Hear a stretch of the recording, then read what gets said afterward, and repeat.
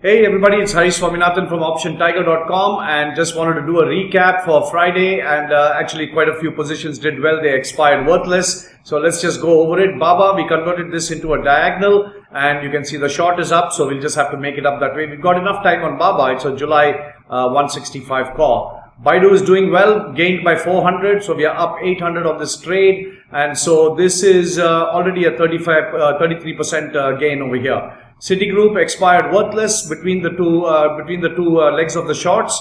And so here we have made, uh, uh, on Friday we made 120 and we had already booked about 650. So about 750 or so uh, on Chipotle. Uh, I mean, on Citigroup. On Chipotle, it is still in the middle of the condor. We don't need to worry. There's 21 days and so we'll leave it as is.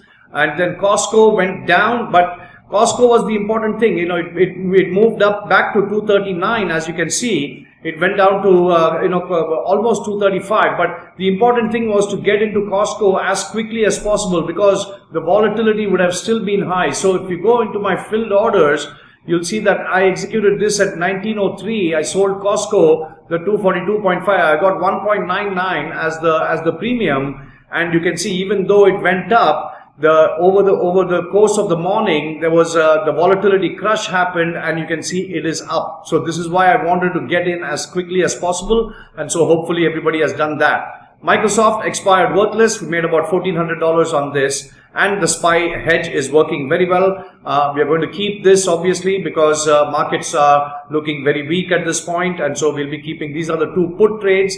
But then we have two uh, two of these microsoft and uh, and Citigroup are both uh, uh, expired and so we won't have them next week and so we'll take a we'll take a fresh look at uh, what what opportunities there are next week. My sense is we'll still be looking for put trades and uh, but we'll uh, we'll review that once we get into the next week. Thank you